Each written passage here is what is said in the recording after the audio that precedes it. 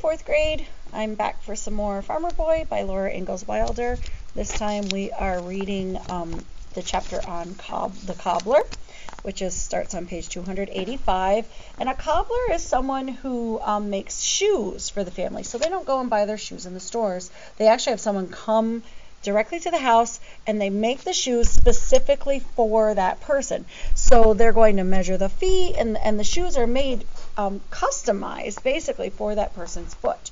Um, just like the tin peddler comes to the house, the butter buyer came to the house, the horse buyer came to the house. Some some vendors, some people that are selling or buying will come directly to their home, and the um, the cobbler is one of these people. So mother was worrying and scolding because the cobbler had not come. Almanzo's moccasins were worn to rags, and Royal had outgrown last year's boots.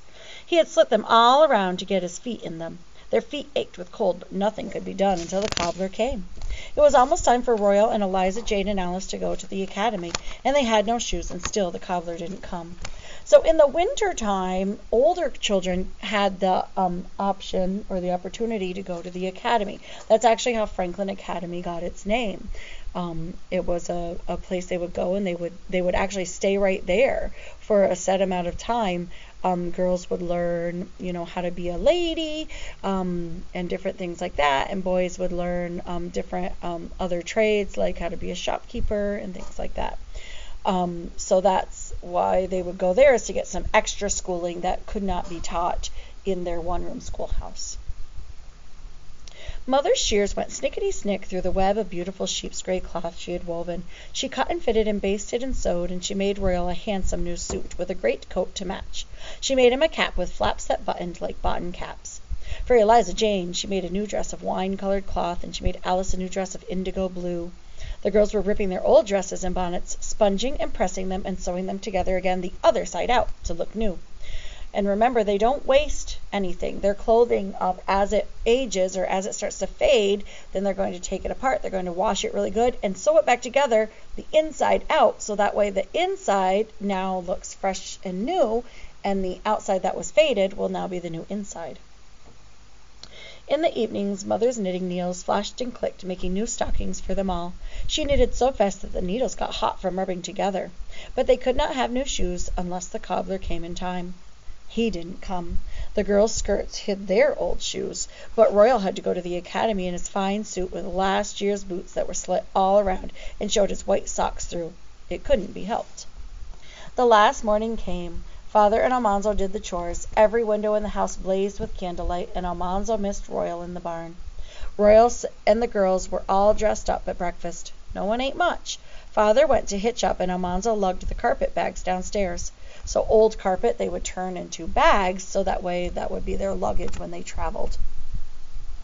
He wished Alice wasn't going away.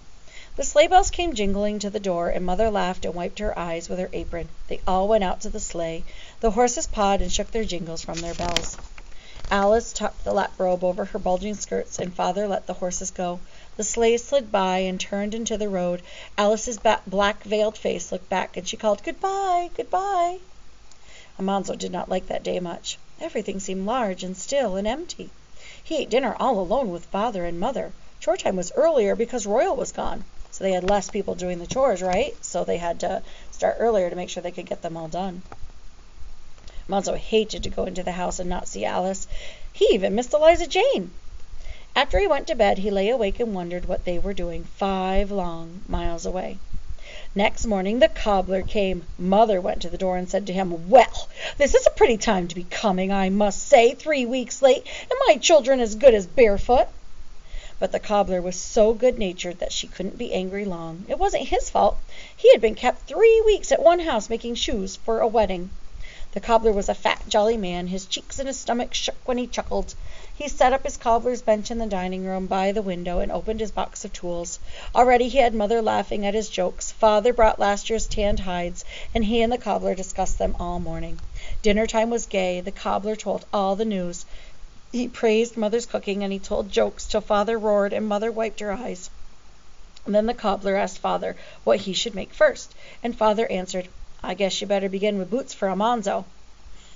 Now wait a second. His feet have not stopped growing yet. So this is a surprise for Almanzo that he is going to get to have boots instead of moccasins that would stretch as his feet grew. Almanzo could hardly believe it. He had wanted boots for so long. He had thought he must wear moccasins until his feet stopped growing so fast. You'll spoil the boy, James, Mother said. But Father answered, He's big enough now to wear boots. And he knows that Almanzo's been doing a lot of work around the farm, and he really follows Father's footsteps, right? He really likes to do what Father's doing. So Father notices this, and he's, you know, rewarding that, that hard work. Almanzo could hardly wait for the cobbler to begin. First the cobbler looked at all the wood in the woodshed. He wanted a piece of maple perfectly seasoned and with a fine straight grain. When he found it he took a small saw and he sawed off two thin slabs. One was exactly an inch thick, the other was a half an inch thick. He measured and sawed their corners square. He took the slabs to his cobbler bench and sat down and opened his box of tools. It was divided into little compartments and every kind of cobbler's tool was neatly laid in them.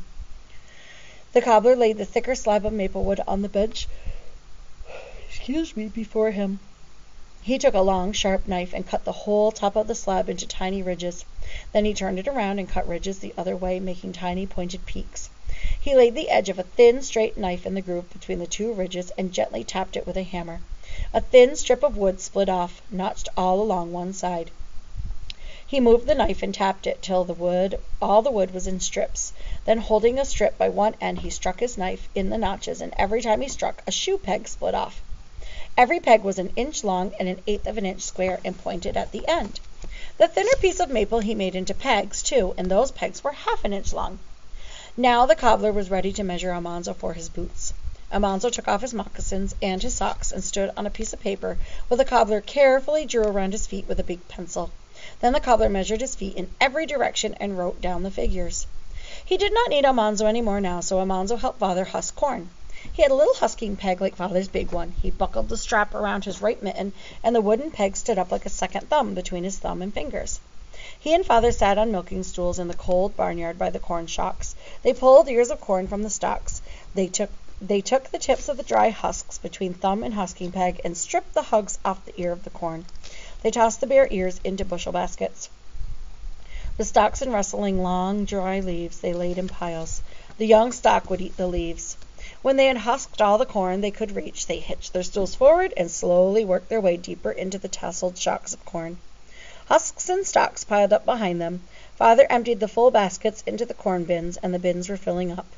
It was not very cold in the barnyard. The big barns broke the cold winds, and the dry snow shook off the corn stalks. Almanzo's feet were aching, but he thought of his new boots. He could hardly wait till supper time to see what the cobbler had done. That day the cobbler had whittled out two wooden lasts just the shape of Almanzo's feet. They fitted upside down over a tall peg on his bench, and they would come apart in halves. Next morning the cobbler excuse me cut soles from the thick middle of the cowhide and inner soles from the thinner leather near the edges. He cut uppers from the softest leather, then he waxed his thread. With his right hand he pulled a length of linen thread across the wad of black cobbler's wax in his left palm and he rolled the th- thread under his right palm down the front of his leather apron. Then he pulled it and rolled it again. The wax made a crackling sound, and the cobbler's arm went back out and in, out and in, till the thread was shiny black and stiff with wax. Then he laid a stiff hog bristle against each end of it, and he waxed and rolled, waxed and rolled till the bristles were waxed fast to the thread. At last he was ready to sew. He laid the upper pieces of one boot together and clamped them with a vise. The edges stuck up even and firm. With his awl the cobbler punched a hole through them. He ran the two bristles through the hole, one from each side, and with his strong arms he pulled the thread tight. He bored another hole, ran the two bristles through it, and pulled it till the waxed thread sank into the leather. That was one stitch. Now that's a seam, he said. Your feet won't get damp in my boots, even if you go wading in them. I never sewed a seam yet that wouldn't hold water. So you can see here his cobbler's bench and what he's doing, um, how he's um, making the shoe and how he's using different pieces for the for the um, or different things for the the wood. His all of his tools.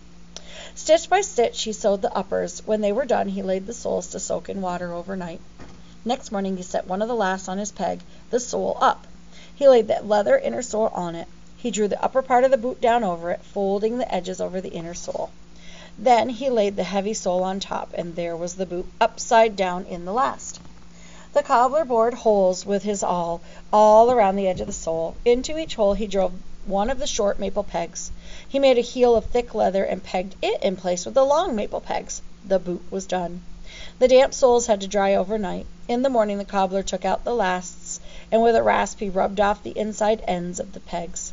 Almanzo put on his boots. They fitted perfectly, and the heels thumped grandly on the kitchen floor. Saturday morning father drove to Malone to bring home Alice and Royal and Eliza Jane to be measured for their new shoes. Mother was cooking a big dinner for them, and Almanzo hung around the gate waiting to see Alice again. She wasn't a bit changed. Even before she jumped out of the buggy, she cried, Oh, Almanzo, you've got new boots! She was studying to be a fine lady. She told Almanzo all about her lessons in music and deportment, but she was glad to be home again. Eliza Jane was more bossy than ever. She said Almanzo's boots made too much noise. She even told Mother that she was mortified because Father drank tea from his saucer. My land, how else would he cool it? Mother asked. It isn't the style to think out to drink out of saucers any more, Eliza Jane said. Nice people drink out of the cup. Eliza Jane, Alice cried. Be ashamed. I guess father's as nice as anybody. Mother actually stopped working. She took her hands out of the dishpan and turned around to face Eliza Jane. Young lady, she said, if you have to show off your fine education, you tell me where saucers come from. Eliza Jane opened her mouth and shut it, and looked foolish. They come from China, Mother said. Dutch sailors brought them from China two hundred years ago, the first time sailors ever sailed around the Cape of Good Hope and found China. Up to that time, people drank out of cups. They didn't have saucers. Ever since they've had saucers, they've drunk out of them. I guess the thing that folks have done for two hundred years we can keep on doing. We're not likely to change for a new fangled notion that you've got in the Malone Academy. That shut up Eliza Jane. Royal didn't say much. He put on old clothes and did his share of the chores, but he did not seem interested.